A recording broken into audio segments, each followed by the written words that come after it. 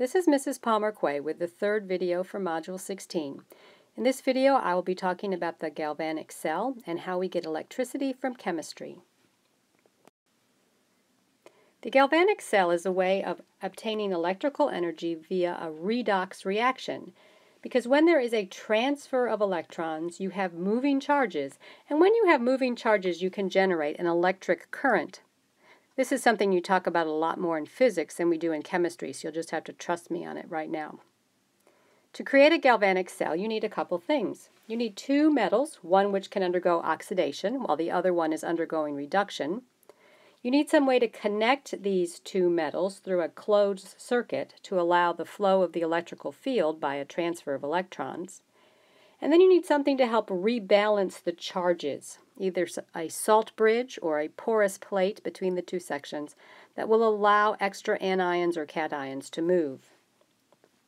But before we get into the details of the galvanic cell, we need to talk a little bit about the activity series. We know from the discussion of ionic compounds earlier this year that metals are what they release their electrons. Electrons move away from a, the metal in a chemical reaction. Now, different metals have different levels of reactivity. Some are very active and some are not particularly active at all. Highly reactive metals, and these are all of the ones in our group 1 on the periodic table, well, they will oxidize quite readily when exposed to water. And the further you move down the column in group 1, the more violent the reaction. So this picture is the reaction of a solid piece of potassium with water, which give you, gives you potassium hydroxide in solution and hydrogen gas. And there is so much heat in this reaction that the hydrogen gas ignites. If you check out YouTube, I'm sure you can find some pretty spectacular videos of solid metals reacting in water. This is an example of a highly reactive metal. Not all metals are that reactive. You know from your own life experience that most metals, when they are exposed to water, like when your car is rained on, it doesn't explode into you know, vapors of hydrogen gas. So other metals need something a little bit more serious than just water. They might need an acid, such as this example here of magnesium reacting with acid, again to produce hydrogen gas, or oxygen. I talked about the first video about how oxidation came from the understanding of substances reacting with oxygen and when oxygen would take those electrons away. So in our rusting car example, we're not making hydrogen gas in an explosion, but iron is reacting with oxygen to create an iron oxide, which we see as those little bits of rust. More active metals will then lose electrons or will oxidize when exposed to less active metals under the right circumstances. You may remember from the lab experience that when the zinc piece of zinc metal was placed into a copper sulfate solution, you saw this black precipitate forming, and you may also have noticed that the blue color of the copper sulfate was becoming less. We can compare it to this example here. Zinc is more reactive. It is more likely to give up its electrons when exposed to copper. And so in the reaction, we have the zinc metal being oxidized. It's losing electrons to the copper that's in solution. The copper comes out of solution as a black precipitate, and over time that piece of zinc metal will dissolve completely. So we can order the various metals on how reactive they are. And this is called the activity series. And so we see here is our zinc. And in the general, the rule is that any metal you know, at one place in the activity series will be able to oxidize in the presence of another metal that is below it. So here are two zinc and copper. On the bottom of the activity series, you see we have gold, and you may know that gold is not very reactive. While silver will tarnish over time, which is a oxidation reaction, gold will not. Gold stays shiny um, forever and ever, even the ones that they have dug up in archaeological digs. The gold is not a very reactive metal. Now, what about electrical energy? Because, of course, in these galvanic cells, we're making electrical, we're obtaining electrical energy by chemical reaction. Well, electrical energy is caused by a difference in electrical potential. And I said in the very beginning, you get a current when you have charges flowing, and you have to have a different amount of charges from one side of the circuit to the other. You have to separate then your oxidation and reduction reactions in order to have a difference in potential. When we put that piece of zinc in the copper sulfate solution, you're not able to obtain electrical current because it's all spontaneously happening in the same place. And so there's not a buildup of charges on one, in one place that are higher than the other place and that there be a difference in potential. Water is used often to illustrate electricity, and so we, I just grabbed this little illustration that says, you know, water's not going to flow unless there's a difference in the potential between the two ends of the pipe. And there needs to be a similar difference in potential between the electrical potential at two ends of a wire, or electricity will not flow. When it comes to the galvanic cells, then, we have to separate our oxidation from our reduction. There are several key parts of a galvanic cell. You need to have the electrodes, the two metals that we are going to use for oxidation and reduction. They have to have different levels of reactivity.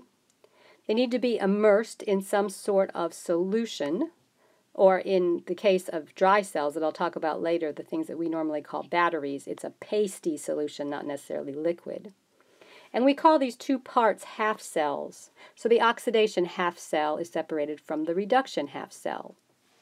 You have to some, have some kind of connection between the two half cells to allow the current flow. And then you need something like a salt bridge or a porous plate that allows a rebalancing of charges. Otherwise, you will not get electric current for very long. So here's this illustration from the first page. Let's go over the different parts. Here we have our zinc electrode on one side, and it's in a zinc sulfate solution. On the other side, the other half cell has a copper electrode, and it has a copper sulfate solution. Now we know that the zinc is higher on the activity list than copper. It is a more active metal. So zinc is going to undergo oxidation, whereas copper will be undergoing reduction. Now we have the electric wire connecting the two electrodes. And when it comes to metal, the electrons in metal are, are, in a solid piece of pure metal are not tightly bound to their own particular nucleus. They're all sort of loosely floating around. That's why it's able to transfer an electric current. Over time, electrons will actually move through a wire if electric current flows through it, but they don't move at the speed of the current. The current is pushed by an electric field, which is part of the electromagnetic wave system, and so it moves at nearly the speed of light. Electrons sort of meander along more like a tortoise. So in any case, these electrons are so loosely attached that the copper ions that, sitting, that are sitting here in solution of this copper sulfate can actually go out and grab an electron from these electrons that are here in the wire. Then, by, or actually we'll grab two electrons because this is a 2 plus. Um, copper sulfate has copper at a, at a 2 plus charge. So that the copper will grab these two electrons, turn into solid copper, and just just connect itself to the copper electrode. Because it's doing that, because it's grabbing these two electrons, it's sort of creating a pull that will pull two electrons off the zinc side of things into the wire. And so then we have a zinc molecule with a 2 plus charge going into the zinc sulfate solution the over time the copper electrode will deposit more and more pieces of copper. It'll actually get bigger and bigger. And your zinc electrode will get smaller and smaller as the zinc goes into solution. Maybe the zinc eh, gives up its electrons first and the you know allows there there to be a higher potential difference in the wire so that the copper can grab it second. Who knows Reduction and oxidation, remember, are happening simultaneously. We won't worry about which one actually occurs first. It's sometimes easier to think about it that the, of the copper grabbing the electrons out of the wire and then sort of pulling them off the zinc on the other side. The electrode that is undergoing oxidation is known as the anode because it is attracting electrons because of this buildup of positive charges here. You can see as more and more zinc goes into solution, this solution would become more and more positive. When the copper moves out of solution, it leaves behind what's left over, which is that sulfate molecule. And so over here, this is getting more and more negative. This becomes known as the cathode because it attracts positive ions.